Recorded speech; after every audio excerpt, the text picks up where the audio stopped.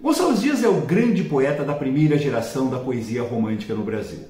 Ele nasceu em Caxias, no Maranhão, em 1823.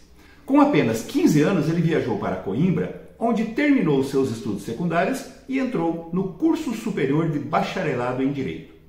Durante o tempo que ele ficou em Portugal, ele conheceu os grandes nomes do romantismo português, como Almeida Garrett, Alexandre Herculano e Antônio Feliciano de Castilho. Foi também nesse período que ele escreveu o seu poema mais famoso, o Canção do Exílio. Quem é que nunca ouviu estes versos? Minha terra tem palmeiras onde canta o sabiá. As aves que aqui gorjeiam não gorjeiam como lá. Pois é, o aqui seria Portugal, o exílio, né, da canção do exílio. E o lá seria o Brasil, a sua pátria. Este poema se tornou icônico, não só por expressar o sentimento patriótico que é próprio do romantismo, mas também por expressar o nacionalismo exultante de um país recém-independente.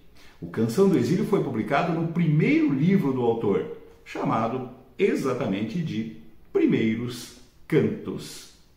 Em 1845, depois de formado em Direito, o Gonçalves Dias retornou para o Maranhão no ano seguinte, ele foi morar no Rio de Janeiro. Ele queria ser escritor, então ele procurou se integrar ao meio literário. Em 1851, logo após publicar os últimos cantos, o Gonçalves Dias voltou para o Maranhão. Lá ele conheceu e se apaixonou por Ana Amélia Ferreira do Vale, uma moça da aristocracia maranhense. No entanto, a família da moça não permitiu o casamento Sabe por quê? Porque o Gonçalves Dias era mestiço. Alguns anos depois, em nova viagem para Portugal, ele reencontrou a Ana Amélia e escreveu um dos mais belos poemas do romantismo. Ainda uma vez, adeus. Enfim te vejo, enfim posso, curvado a teus pés, dizer-te que não cessei de querer-te, pesar de quanto sofri.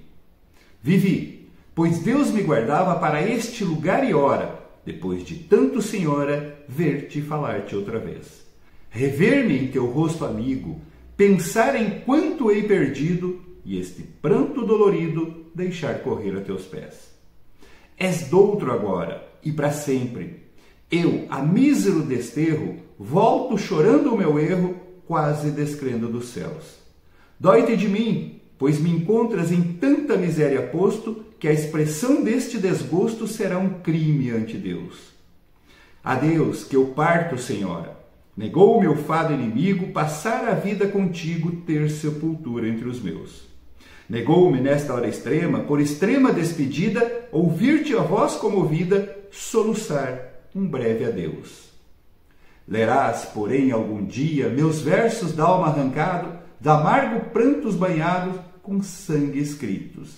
E então confio que te comovas, que a minha dor te apiade, que chores, não de saudade, nem de amor, de compaixão.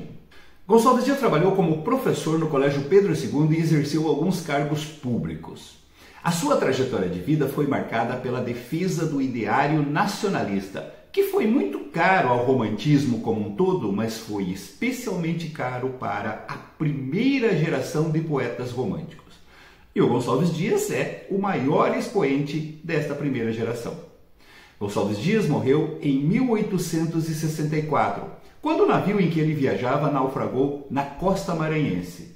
Ele tinha apenas 41 anos de idade.